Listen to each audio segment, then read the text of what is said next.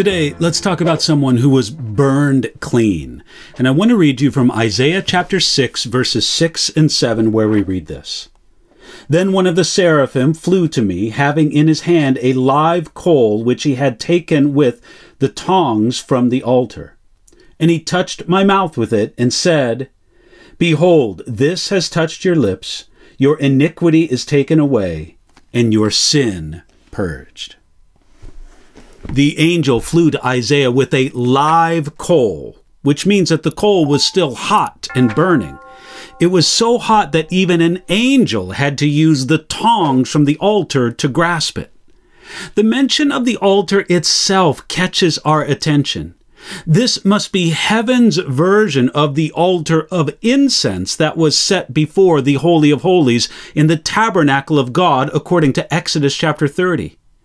We know that the earthly tabernacle God instructed Moses to build was made after the pattern of a heavenly reality. At least that's what Exodus chapter 25 verse 9 tells us. But in Isaiah's heavenly vision, he mentioned two pieces of what we might call furniture. The first is the throne, and the second is the altar. The throne, of course, is for God. That's where He rules and reigns. The altar is for us. That is, that's where we find cleansing and purging from sin. And we should never confuse the two, and we should understand what each one is for. The angel had a surprising purpose for that burning coal taken from the altar. Isaiah says, He touched my mouth with it. Isaiah knew he did not serve the Lord like these seraphim, whose name means the burning ones. So God said, I'll light a fire in you also, Isaiah. And that's one reason why a burning coal was used to purify the prophet. You see, Isaiah had just cried out in the previous verse, Woe is me, for I am undone we might think that a burning coal to the lips would be more painful than a vision of the holy God. Nevertheless, for Isaiah, it was more disturbing to see the holiness of God and to compare it to his lack of holiness than it was to have a lump of burning coal applied to his own lips. This was an essential step of brokenness for Isaiah in preparation for ministry. Abraham experienced some 13 years of burning in his life. You could say that Moses had 40 years. It seems that Isaiah only had a few moments, but those were enough. You see, God's work is different in every person. And the end result was good for Isaiah. This is what the Lord said over him Your iniquity is taken away, and your sin is purged.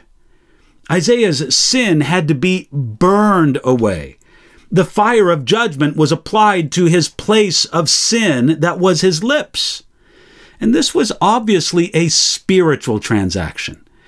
The same principle works on our behalf with regard to Jesus' work on Calvary.